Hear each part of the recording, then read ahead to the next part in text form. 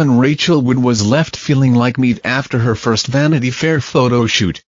The 27-year-old actress posed for the cover of the publication's Young Hollywood issue alongside stars including Mandy Moore and Amanda Bynes in 2003 when she was just 15 and says the experience left her close to tears after having her identity erased when they ignored her begging to wear trousers and flat shoes in favor of heels and a mini dress.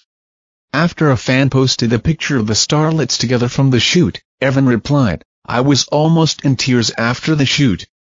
They tried that dress on me, IWASNT comfortable but they told me there was no time cause everyone else took up too much time with their fittings. Then I was given a choice on whether I wanted to wear flats or heels. I chose flats and was immediately handed heels and told they looked better. Then we were all lined up, stared at and approved.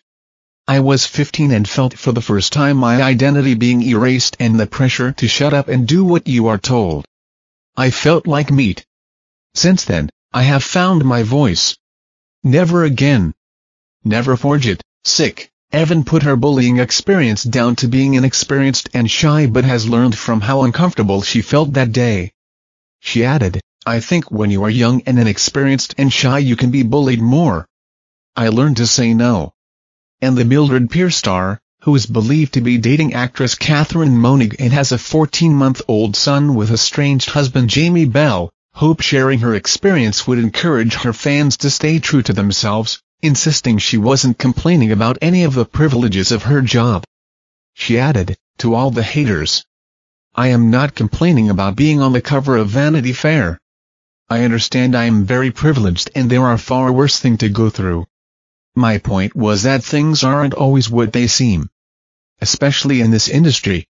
What may seem glamorous sometimes comes at a price.